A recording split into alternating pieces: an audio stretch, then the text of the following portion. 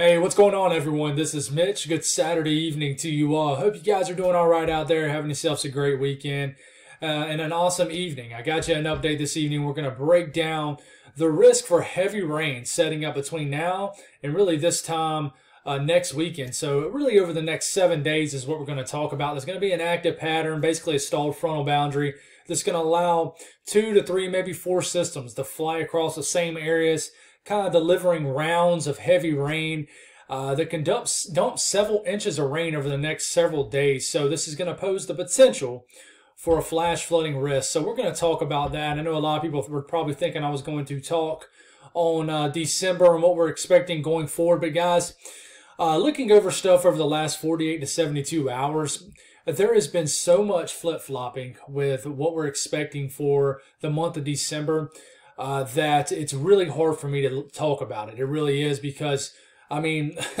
one model run you got this, the next you got that. The ensembles have stayed pretty consistent, but at the same time, uh, they're kind of delaying things. So I don't want to talk too much on something that we absolutely have no idea is going to happen. I've was searching YouTube today just to kind of, uh, you know, see what people were doing as far as talking about this, and there was a lot of uh, just a, a, lot of videos and just thumbnails that were just showing like Arctic blasts, several snowstorms coming up for December.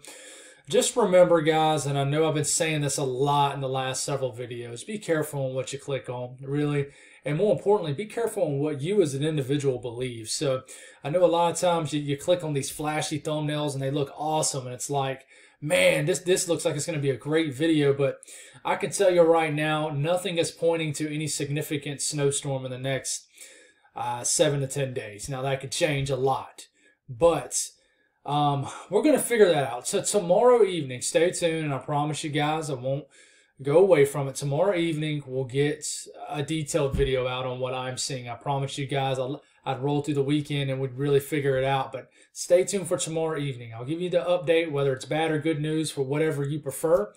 We'll give it to you straightforward like we always do. But if you guys have not subscribed, certainly consider doing that. Like the video if you like it. And if you guys got anything that I can pray about or pray over, please put in the comments below.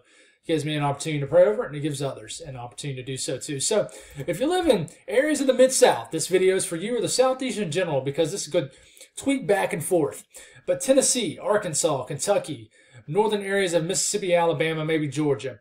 Um, this video is really for you. I'm, I'm not even going to lie. Um, you know, I want everybody to watch my stuff, and I know some people do regardless, but uh, Tennessee might be the epicenter for some heavy rain this week. And we'll see if this it kind of develops into something much bigger, and it could. Uh, so what's going to happen here is moving forward, we got our first area of rain that could develop sometime Monday. Monday p.m., sometime afternoon. There's going to be an area of rain that begins to develop. It's going to fly over the mid south. All these states right into here, northern areas of the deep south, the northern.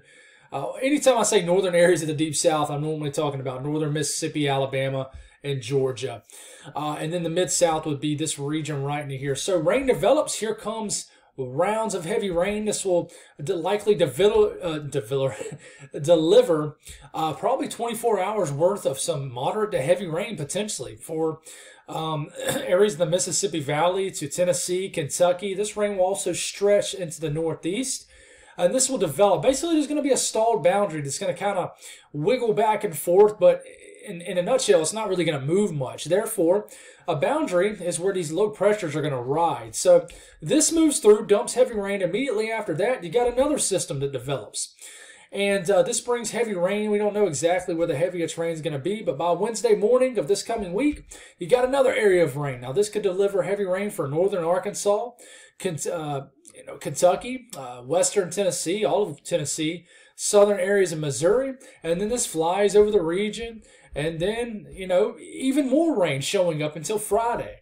And then we watch this system fly into the northeast, which we definitely need to watch this system because uh, there's some model runs that have showed some interesting development with it, but we, we have no idea what it's going to do. This was the same system that was showing a snowstorm in North Carolina about three or four days ago. So it tells you how wild these model runs are, but we are certainly getting getting well inside the medium range. So we need to watch to see if this becomes an impactful system um, off the coast of southern New England, and the mid Atlantic here.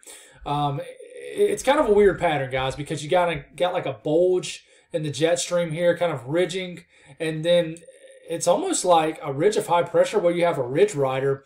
So this low pressure kind of flies up here, gets undercut underneath the ridge, and then finally finds an avenue and kind of gets shunted southeast, if you will. So it, it's kind of a weird. I mean, you normally don't see systems literally get pushed southeast um, off land. Um, off the eastern shoreline, so it's wild. And if you were to keep this going, another system comes. This might deliver cold air behind it. But uh, there's no winter weather with this. Just two, three, maybe as much as four systems over the next seven to eight days.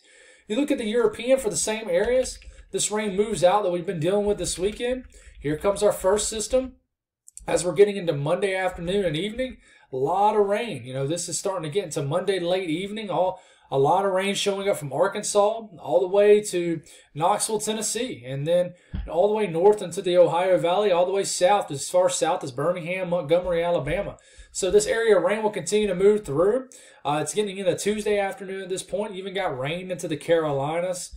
And then we watch, and then another area of heavy rain, moderate. You know, I wouldn't say it's always going to be heavy rain, like it's going to be a downpour at all times. Not saying that, but another area of light, moderate, maybe at times heavy rain develops over Tennessee and uh, Kentucky, and then this keeps, and it's just becomes stationary. And then you, it looks like you get kind of a, one to two day period where maybe this rain just trains over the same areas of northern northern Arkansas into the Mississippi Valley into Kentucky, Tennessee and then just a lot of rain. And then we're getting into Thursday, uh, Wednesday evening, and here comes another system that flies through, delivers rain. So, and then maybe by the time we get into Friday, into Saturday, it calms down, but then maybe another system moves in.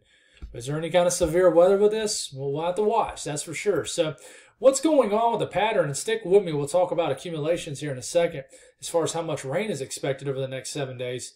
Is uh, this ridge right here develops? This is troughing. Uh, negative PNA setting up, which means you got a dump of cold air out to the west.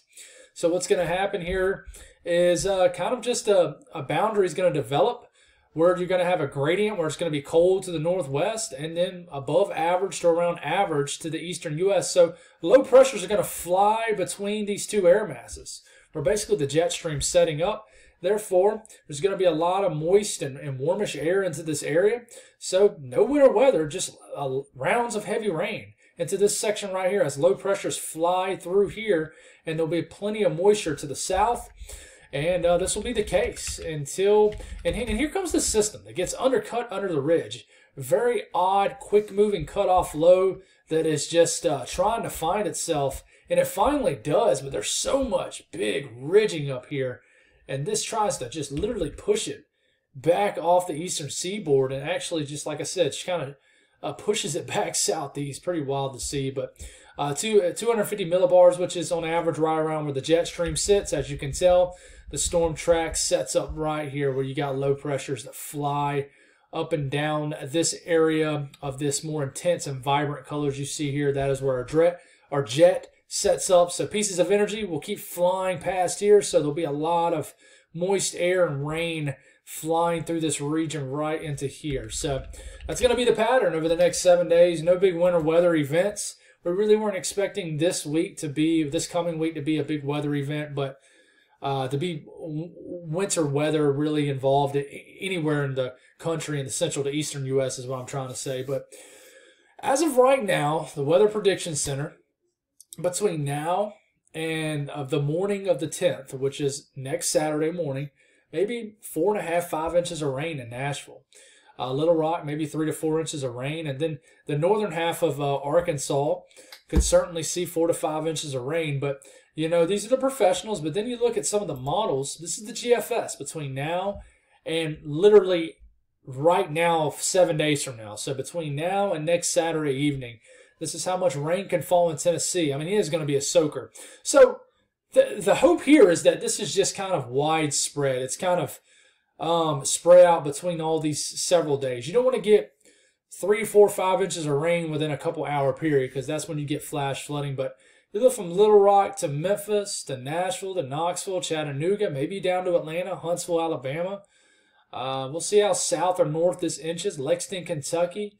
I mean, even to the Mid Atlantic and Northeast, a lot of rain. This is the um, GFS, indicating four, five, six inches of rain. Certainly possible. You look at the blend of all models, same time frame, and it really likes to put a lot or more rain on Arkansas. But you see these areas right into here. That is rain pushing six inches, a half a foot of rain between now and the next seven days, guys. It's a lot of rain. And not to ignore eastern Oklahoma, but there's a potential for a lot of rain for you guys too. It really just depends where the stall boundary goes. It really does.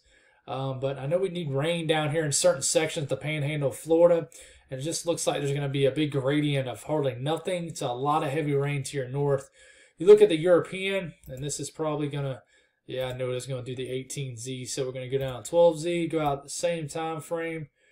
Um, well, let's stop it right here. Not as much rain on the Euro, and I can tell you it's a little bit further north, maybe, but I really think a lot of rain could potentially fall. The National Weather Service um, right now, let's see if there's not. This only goes out.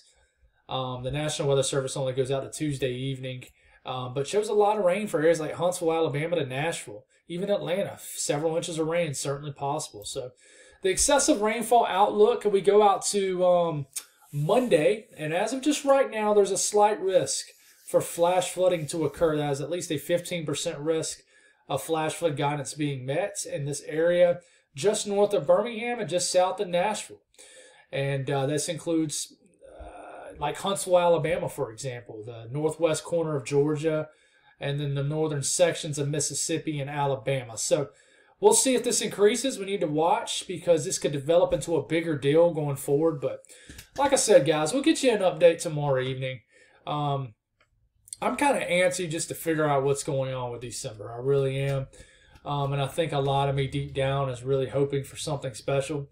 But the reality of it is, I don't think we're going to have these all these comparisons you're seeing to 2010.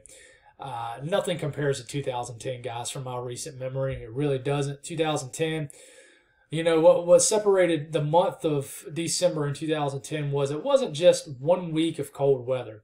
A negative NAO really established itself in November, probably a few days before Thanksgiving, and then 15 days, 10 to 15 days later, which my idea is that's how much time after a negative NAO comes in that you need for the pattern to really actually uh, change things in the lower 48. Uh, is the cold going to dump to the west, the central U.S., the eastern U.S.? But we just don't know, guys. We don't. You know, the thing about 2010 December was you had so many minor events that led up to the big blockbuster events, the big Boxing Day blizzard into the Northeast, and you know that was the same uh, system that you know put snow into the Southeast too. So we got a lot to figure out. I'm hoping, I'm hoping for something. I'm hoping for a big topic to latch onto. But I can be honest with you guys, I'm not as excited about what I was seeing that I was maybe earlier this week. So um, the thing is, is we can't talk things to death. You know, we can't um, get excited about one model run and then get upset about another, especially if it's one model to the next. So we need to be do this the right way and uh, try to figure it out for you guys. But we will. We will figure this out. Um, you guys have a great night. God bless all y'all, and I'll talk to y'all in the morning.